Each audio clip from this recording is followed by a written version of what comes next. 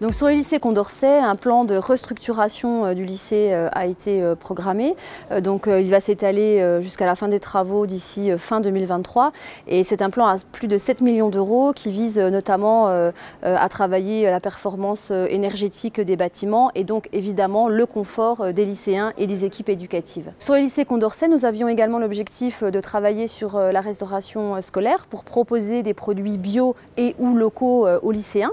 Et donc l'objectif est atteint puisque 51% des produits proposés euh, euh, cette année seront d'origine soit biologique, soit issus euh, de producteurs locaux. Nous avons évidemment l'espace numérique de travail Éclat BFC qui visait à offrir un outil numérique identique sur l'ensemble de la nouvelle région. Il est opérationnel et les chiffres parlent d'eux-mêmes puisque pendant le confinement, nous avons eu 90 000 utilisateurs jour contre 30 000 précédemment. Donc nous avons évidemment un bel objectif atteint aussi sur cette question de l'outil Alors je souhaite euh, évidemment une euh, très belle rentrée euh, à l'ensemble des lycéens, une rentrée spéciale cette année, mais je suis certaine que tout se passera bien. En tout cas, nous avons mis toutes les conditions possibles pour que les lycéens puissent faire une très belle année scolaire.